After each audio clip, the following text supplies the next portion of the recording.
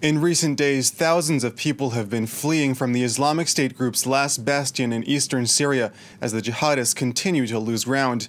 Kurdish forces backed by US led coalition airstrikes have been battling since September to push them out, and it's now widely felt that this is the final phase of the battle. France 24's James Andre sent us this update from near the front line.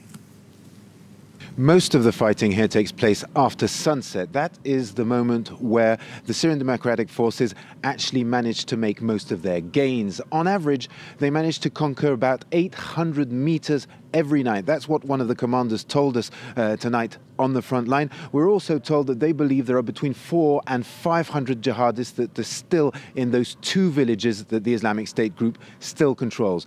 Now, as we were close to that front line, we could witness some of the action. We saw a lot of wounded fighters be uh, taken out from uh, these front lines. We could hear a lot of the gunfire, and we were also uh, told about uh, one of the stories that took place. We saw a big bulldozer being moved towards these front lines, and the men were telling us uh, that they were going to use it in order to collapse a house inside which there was a couple of jihadi fighters, foreign fighters, uh, probably from Chechnya. In any case, uh, finally they managed to kill both of these foreign fighters uh, with a gunshot, but they had negotiated with them for about four hours to ask them to surrender, which did not happen. That goes to show how determined the fighters who are left in these two villages are, and this is why it is so difficult to advance. The whole area is completely mined, there are tunnels, and indeed the jihadis managed to come out behind the SDF lines to attack them from the rear.